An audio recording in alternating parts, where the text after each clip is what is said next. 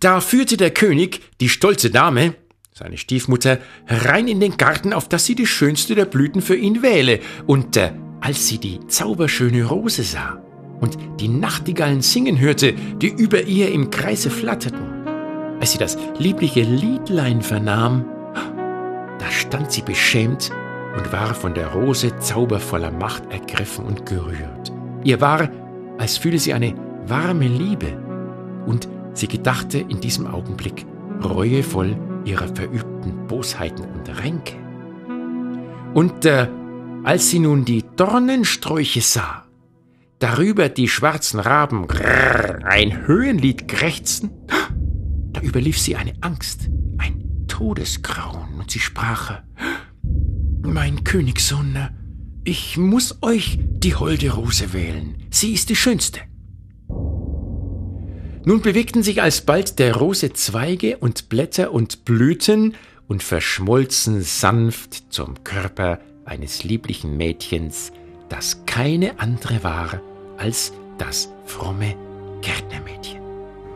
Und es schien noch schöner und bescheidener als zuvor.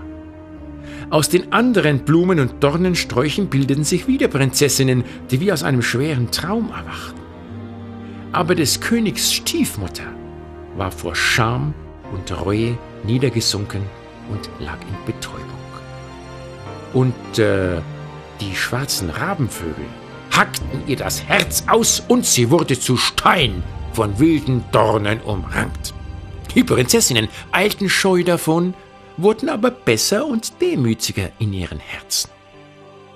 Und der König lebte glücklich und fromm mit seiner Gemahlin, dem Gärtnermädchen, und des Himmels Segen war mit ihnen. Und wenn sie nicht gestorben sind, dann leben sie noch heute. Das war ein Märchen von Ludwig Bechstein.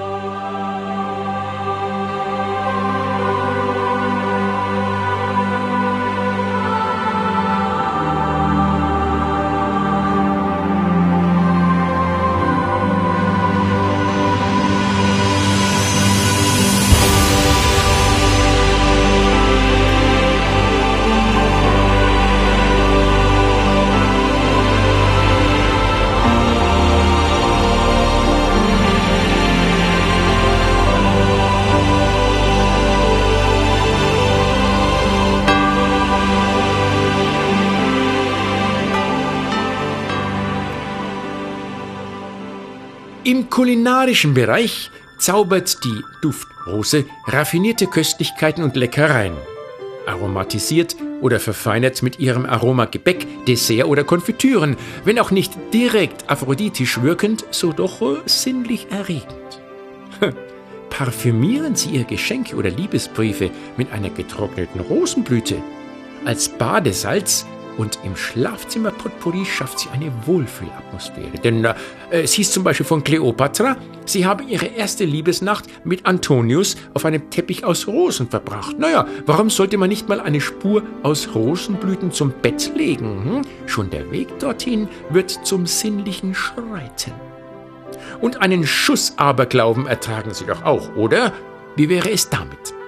Es heißt, wenn Liebende Rosenblätter den Bach werfen und zwei dieser Blätter miteinander fortschwimmen, ohne sich zu trennen, so werden sie bald heiraten, gnädige Frau, gnädiger Herr, sofern sie noch zu den Ledigen gehören, die dies für eine freudige Botschaft und nicht etwa für eine Drohung halten.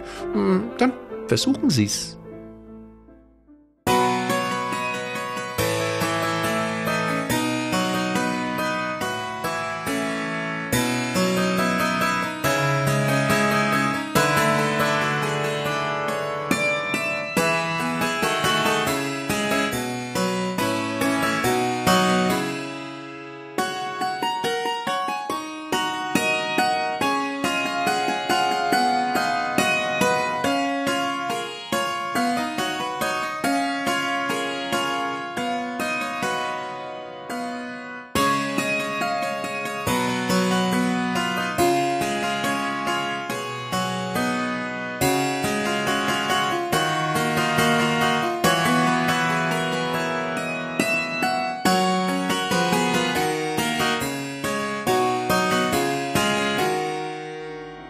Homer dichtete um 800 vor Christi über den Duft der Rosen. Es verwundert kaum, dass Rosen Generationen von bildenden Künstlern und Dichtern in ihrer Kreativität bewegt haben. Die Rose selbst taucht 3000 vor Christi in Asien zum ersten Mal in künstlerischen Motiven auf. Die älteste Versesammlung Japans, ein Wort, das ich leider nicht richtig aussprechen kann, aber ich versuche es, Manioshu, enthält eine Ode an die Rose. War es der Duft der Rosen, der die als besonders empfindsam angesehenen Haiku-Poeten zu Rosen-Haiku inspirierte? Berühmte Haiku-Dichter wie Basho und Issa widmeten viele ihrer lyrischen Miniaturen der wilden Rose. Bei Frankreichs wohl tragischsten Literaten Arthur Rimbaud, der all seine Werke zwischen dem 16. und 20. Lebensjahr schrieb und dann nie wieder zur Feder griff, entdecke ich in seinem Gedicht In der Sommerfrüh die Zeilen Liebe hat lange genug nur am Rand seines Herzens gewacht. Gib, dass sich ein Weib in Rosen über ihn streut. Eine herrlich romantische Chiffre für die schönste Nebensache der Welt, finden Sie nicht? Rainer Maria Rilke hat sich in seinem Werk der Rose ganz besonders zugewandt. Auf seinem Grabstein steht Rose, o reiner Widerspruch, Lust, niemandes Schlaf zu sein unter so viel Liedern. Wobei Rilke die Augenlider meint, also die ohne E, versteht sich. Wohl kaum eine andere virtuelle, also eine erdachte, erfundene Rose erlangte solche Berühmtheit wie jene in dem bezaubernden Meisterwerk von Antoine de Saint-Exupéry, Der kleine Prinz. Unsere Rosensammlung wäre unvollständig ohne jene Stellen, die sich darauf beziehen. Ich werde mich bemühen, sie so sanft nachzusprechen, wie der Fuchs zum kleinen Prinzen redet. So machte denn der kleine Prinz den Fuchs mit sich vertraut. Und äh, als die Stunde des Abschieds nahe war, Ach, sagte da der Fuchs, ich werde weinen. Puh, das ist deine Schuld, sagte der kleine Prinz. Ich wünschte dir nichts Übles, aber du hast gewollt, dass ich dich zähme. Hm, gewiss, sagte der Fuchs. Aber nun wirst du weinen, sagte der kleine Prinz. Hm, bestimmt, sagte der Fuchs. So hast du nichts gewonnen. Ich habe, sagte der Fuchs, die Farbe des Weizens gewonnen. Und dann fügte er hinzu, geh die Rosen wieder anschauen. Du wirst begreifen, dass die deine einzig ist in der Welt. Du wirst wiederkommen und mir Adieu sagen, und ich werde dir ein Geheimnis schenken. Der kleine Prinz ging, die Rosen wiederzusehen. Ihr gleicht meine Rose gar nicht. Ihr seid noch nichts, sagte er zu ihnen. Niemand hat sich euch vertraut gemacht. Und auch ihr habt euch niemandem vertraut gemacht. Ihr seid äh, wie mein Fuchs war. Der war nichts als ein Fuchs, wie hunderttausend andere, aber ich habe ihn zu meinem Freund gemacht und jetzt ist er einzig in der Welt. Und die Rosen waren sehr beschämt. Ihr seid schön, aber pff, ihr seid leer, sagte er noch. Man kann für euch nicht sterben. Gewiss ein Irgendwer, der vorübergeht, könnte glauben, meine Rose ähnle euch, aber in sich selbst ist sie wichtiger als ihr alle. Äh, dass sie es ist, die ich begossen habe. Dass sie es ist, die ich unter den Glassturz gestellt habe. Dass sie es ist, die ich mit dem Wandschirm geschützt habe. Dass sie es ist, deren Raupen ich getötet habe, außer den zwei oder drei, um der Schmetterlinge willen.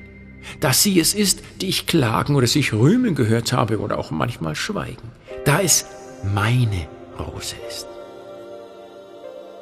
Und äh, er kam zum Fuchs zurück.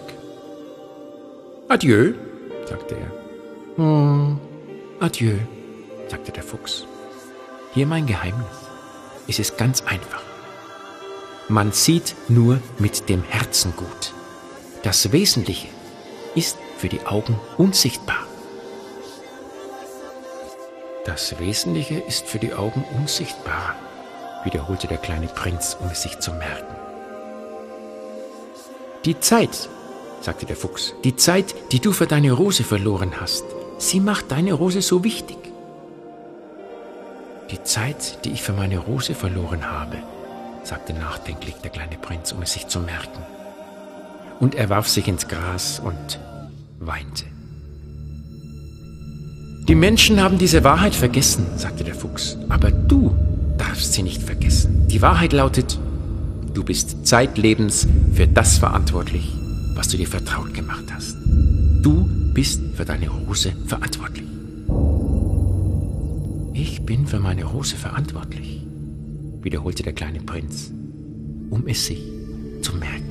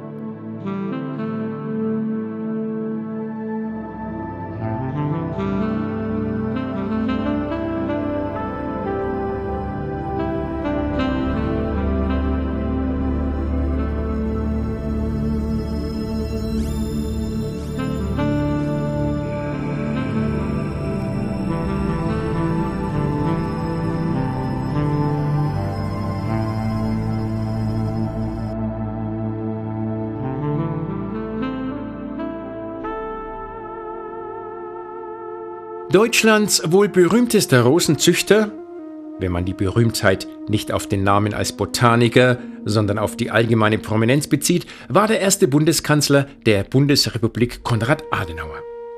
Mit seinem bekannten, trockenen Humor und seiner Ironie sagte er einmal, die Rose ist etwas so Schönes, dass auch der wahnsinnigste Züchter sie nicht verderben kann. Nun, liebe Hörerinnen, liebe Hörer, Jetzt sind sie wohl übervoll mit Rosenwissen und Rosenduft und schweben sicher auf einer rosa-roten Wolke. Dann denke ich, ist es an der Zeit, dass ich sie alleine lasse mit dieser guten Stimmung. Aber äh, es würde mich freuen, wenn wir einander einmal wieder treffen. Besuchen Sie doch dazu einfach die Webseite von Edition Jonathan www.editionjonathan.de. Darauf finden Sie auch andere interessante Hörbücher. Ich äh, wünsche Ihnen eine rosige Zukunft mit der ersten, ebenfalls rosenbedachten Strophe aus äh, Clemens Brentanos berühmten Nachtlied des Knaben Wunderhorn. Auf Wiederhören. Guten Abend, gute Nacht, mit Rosen bedacht, mit Näglein besteckt, schlupf unter die Deck Morgen früh, wenn Gott will, wirst du wieder geweckt. Morgen früh, wenn Gott will, wirst du wieder geweckt.